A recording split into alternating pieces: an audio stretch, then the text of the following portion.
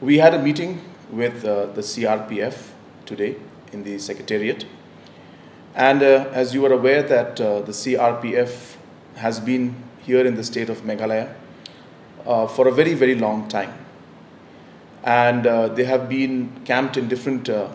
temporary locations. And the CRPF for many years has requested the government of Meghalaya to give a permanent location and a permanent camp to them. And because this permanent location was not given, uh, the CRPF uh, different battalions and companies have been kept in different parts of the city and the state uh, on a temporary basis, but which has extended for a very long time.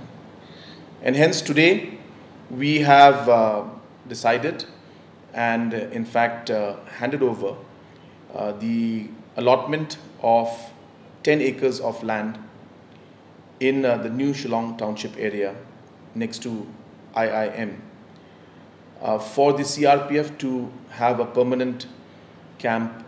in uh, the state of Meghalaya, which will further facilitate the process of shifting the temporary camps and uh, taking the different CRPF personnel from those temporary camps to the uh, permanent camp that is uh, being the land which is being given to them. And um,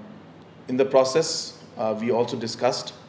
regarding the shifting of the camps in uh, certain locations where there had been a lot of demand from the public also, like in the areas of Mawlai. So those discussions also were done, and this process also will start.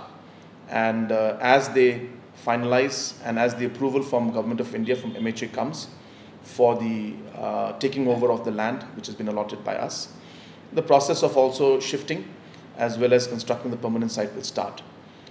Apart from that, uh, we've also discussed that, uh, especially in Mawlai area, in the camp that is there next to the Mawlai police station, that uh, we will further, once this shifting process takes place,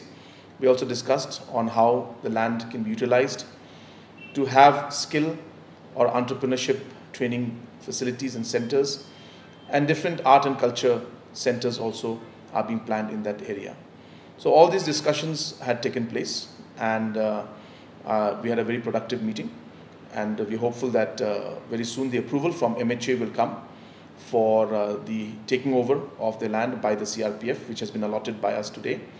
And uh, today, in a, a, very important meeting, the government of Meghalaya has handed over the allotment land, Uh, the letter of allotment uh, to the CRPF.